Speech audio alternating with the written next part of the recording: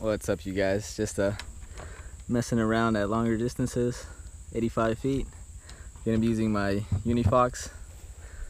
You know, for the last few years I've only shot lead, but I've been lazy lately and I'm, I'm running out of lead, so I've been using 9.5 steel. Gonna see how that performs for me. I got a two can set up over here. Gonna see if I can't can't get them. I got this can which has been open, got a little bit of water in there, and then unopened one, see if we can't get a little explosion.